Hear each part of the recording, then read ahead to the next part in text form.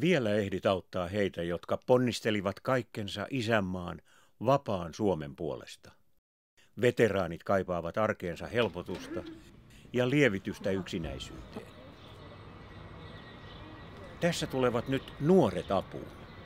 Anna sinäkin panoksesi tähän arvokkaaseen työhön. Lahjoita 10 euroa. Lähetä tekstiviesti veteraanit numeroon 16499.